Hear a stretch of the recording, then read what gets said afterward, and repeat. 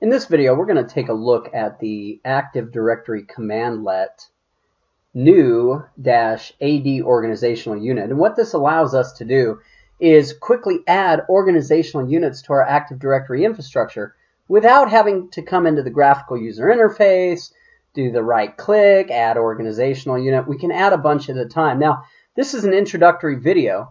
So where we're going to start is to look at the commandlet. Now, before we do that, what I want to do is jump in here and show you that under administrative tools, there is a shortcut to Active Directory module for Windows PowerShell.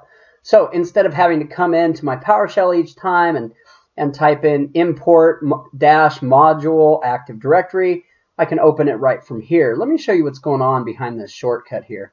Kind of interesting. All it's doing is opening up PowerShell.exe. There's PowerShell doing a non-exit command, and then running the command import module active directory. So when I open it up from here, I open up PowerShell with, as you can tell, the Active Directory module located.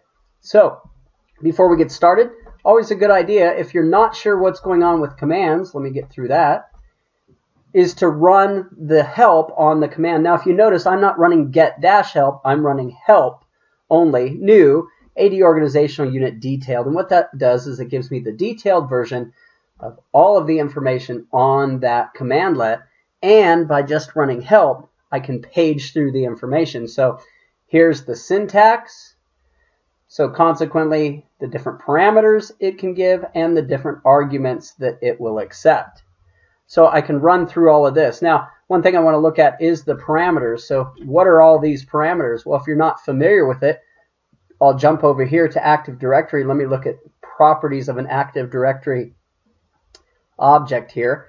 And as you can see, here's street, city, state, zip, who it's managed by. And we can automate the process of filling all of this in with our PowerShell command. So we'll come over here. We'll just continue to page through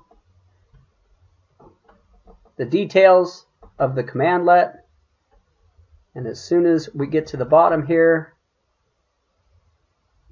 so you can go ahead and look through all that. I'll clear our screen and we'll start looking at how we do this. Now, we're going to follow this structure down here. This is for a subsequent later video where we actually create a PowerShell script that will call this comma separated value and create this entire structure of OUs and nested OUs. We're going to go ahead and do the first four though by hand in the Active Directory console. So I've already gone ahead and put these commands in. So let me get to the start here and we'll take a look at this one right here.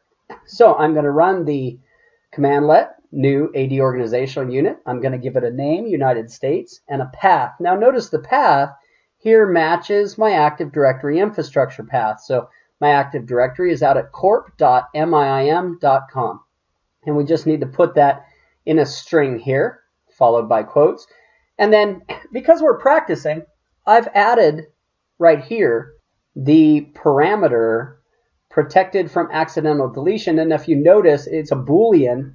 It takes either true or false. And I'm putting it as false.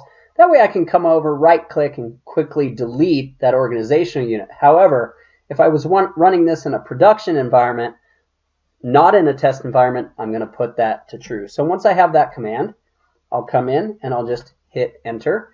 And no news is good news. So as long as I don't get any syntax errors, that big red nasty stuff, we should be able to come over here to Active Directory. We'll refresh Active Directory and there's our organizational unit, United States. So let's come back over and let's take this one step further. We're going to go ahead and run our next organizational unit, which is California. And as you can tell from down here, we're doing United States. Now we're going to do the nested organizational unit California. In there, we'll nest Sacramento, and then we'll nest North Sacramento. So here's my second command. Let's just take a look at this. My name now is going to be California. And if you notice, I've increased my path because I want to nest California inside the path OU equals United States. I've added that to my path, including the rest of my path details. I'll hit enter for that.